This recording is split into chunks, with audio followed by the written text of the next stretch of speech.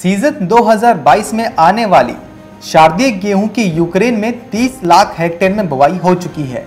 कृषि मंत्रालय से मिली जानकारी के अनुसार, कुल संभावित छियासठ दशमलव आठ शून्य लाख हेक्टेयर बुआई की तुलना में चालू सीज़न की 7 अक्टूबर तक की अवधि में देश में शारदीय गेहूँ की पैंतालीस दशमलव नौ शून्य प्रतिशत बुआई हो चुकी है। यूक्रेन में गेहूँ की कुल बुआई में शारदीय गेहूँ की बुआई की पचानवे प्रतिशत हिस्सेदारी होती है।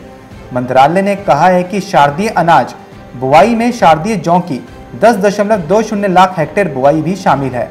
शारदीय जौ की नवीनतम बुआई इसी कुल संभावित बुआई की चौबीस दशमलव सात शून्य प्रतिशत है।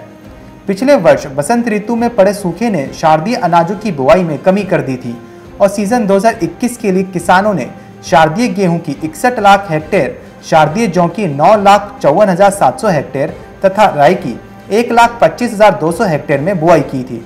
दुनिया भर के प्रमुख अनाज उत्पादकों तथा निर्यातकों में से एक यूक्रेन में सीज़न 2021 में अनाजों का रिकॉर्ड आठ दशमलव शून्य छह करोड़ टन उत्पादन होने की उम्मीद है। Bureau report, Market Times, TV.